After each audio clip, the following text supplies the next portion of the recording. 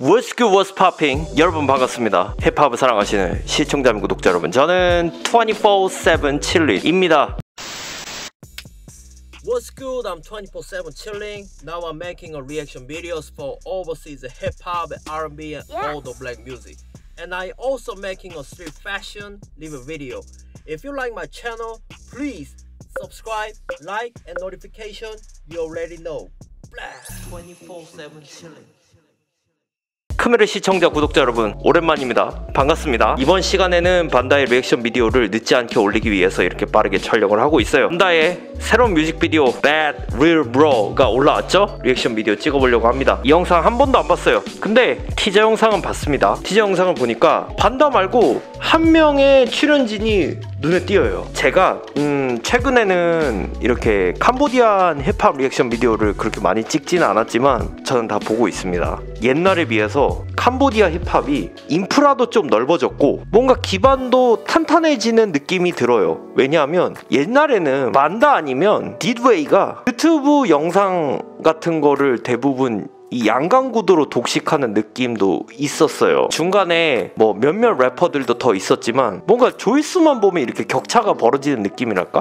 근데 요즘에는 어 신예들도 많이 나오고 그리고 Baramey에서도 열심히 뭔가 새로운 이제 반다 이후에 넥스, next step을 밟기 위해서 이제 새로운 래퍼들도 많이 발굴해냈고 그들이 또 폼이 많이 올라온 것도 사실이고 제가 오늘 이 얘기를 왜 하냐면 이거 반다의 Bad Lil Boo 티저 영상에 반다 말고 지맹즈라고 하는 래퍼가 나옵니다. 저는 이 래퍼를 유튜브 추천 영상을 통해서 좀 몇 번 봤어요. 캄보디아에서 흔하지 않게 리 flow를 뱉는 래퍼였고 목소리가 상당히 dope했습니다. 아웃핏도 그렇고 뭔가 분위기도 originality를 상당히 중시하는 래퍼의 느낌이 좀 보여서 예사롭지 않게 봤는데 지맹즈라는 래퍼가 많이 떡상을 했더라고. 그래서 이 반다의 Bro 뮤직비디오에 반다와 함께 상대 연기자로 이렇게 출연한다는 게 다 아마 이유가 있을 것 같아요. 바람이가 그를 캐스팅하는 건가? 아니면은 반다가 그와의 작업을 예고를 하고 있다거나 뭐 둘 중 하나가 되겠죠?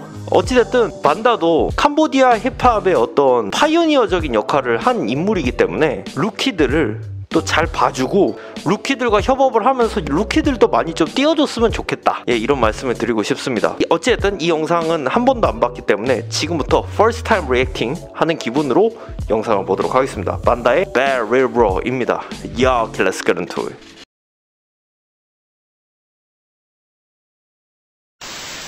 Yup, are you enjoying watching my video? Have you still not subscribed to my channel?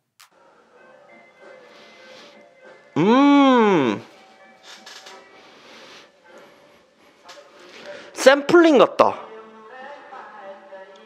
반다가 요즘에 샘플링을 은근히 좀 쓰는 것 같아요. 그러니까 뭐 캄보디아 크메르 전통 음악 같은 거를 요즘 스타일의 힙합으로 재해석을 하는 거지. 멋있는 작업을 하는 것 같아요.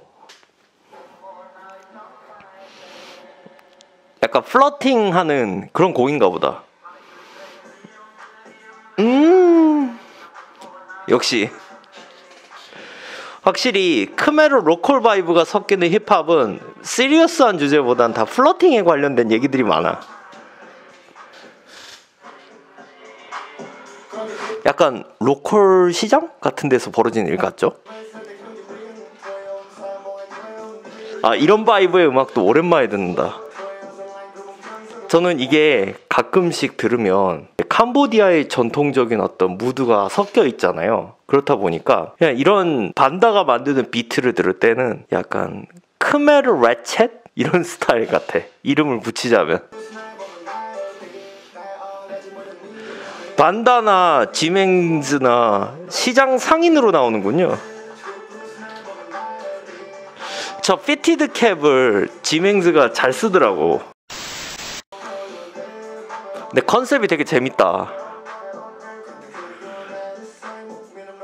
그러니까 뭐 저는 캄보디아를 가보지 않았지만 저런 시장에서 벌어지는 일들이잖아요. 되게 보통 힙합 뮤직비디오에서 볼 수 있는 배경은 아니지. 그래서 좀 재밌는 것 같아.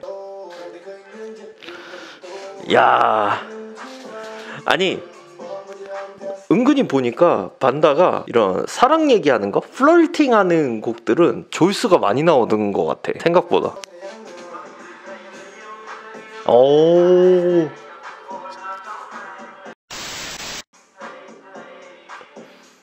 이 샘플링으로 나오는 목소리가 누군지는 모르겠지만 되게 vibe가 특이하면서도 soulful해요. 미니스커트를 입으면 고운 피부가 빛난대.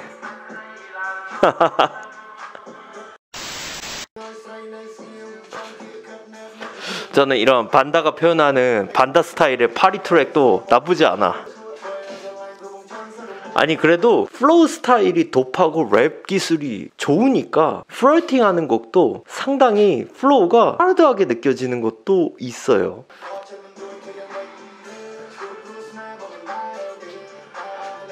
지맹즈나 반다나 이 여자를 쟁취하기 위해서 경쟁하는 거죠.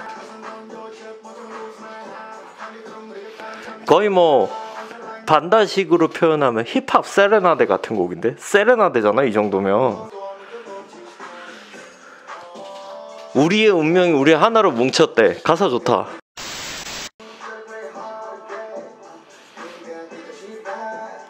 아 사실 여자는 막 치링도 하고 이러는데 어떤 bad걸한테 더 오히려 호감을 느낀다는 이런 내용이죠. 어. 아 단념하고 돌아가는 거네. 근데 또 배경이 시장이니까 재밌어. 아 두 사람이 맥주로 화해를 하는 거구나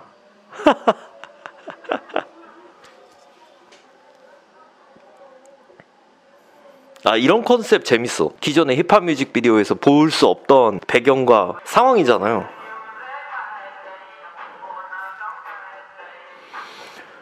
근데 저는 오히려 샘플 원곡이 되게 궁금해졌어. 되게 반다는 참 이런 걸 잘해요. 그러니까 과거에 있었던 어떤 전통적인 음악들을 자기만의 스타일로 그걸 재해석을 잘해. 그러니까 이제 저는 반다의 어떤 역할이나 이런 게 카니에처럼 느껴질 때가 있거든요. 물론 카니에랑 표현하는 음악적인 방식이나 무드는 다르겠지만 과거의 것을 샘플링을 해가지고 뭔가 요즘의 방식으로 풀어낸다는 거 이게 원래 예전에 카니에의 음악 작법 중에 하나였거든요. 근데 반다가 그거를 지금 현재 많이 보여주고 있으니까. 그리고 어, 이 곡과는 별개로 뭔가 하이브리드적인 거, 새로운 음악적인 시도를 굉장히 과감하게 하는 거.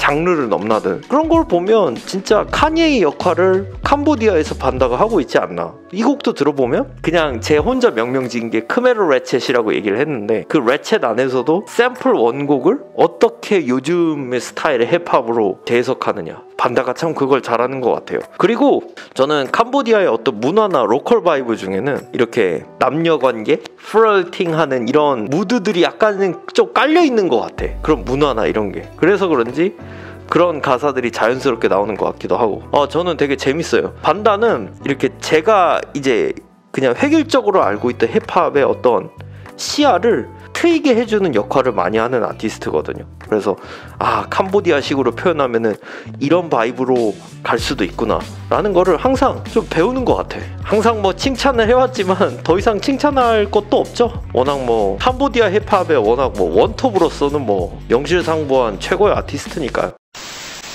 자 여러분들의 의견은 어떠신지 모르겠습니다 의견 있으신 분들은 댓글로 많이 남겨주시고 저희 24-7 7인 채널이 마음에 드시면 구독, 좋아요, 알람 설정을 해주세요 저는 다음에도 재밌는 영상으로 다시 돌아올 수 있도록 하겠습니다. 여러분 감사합니다. Peace out.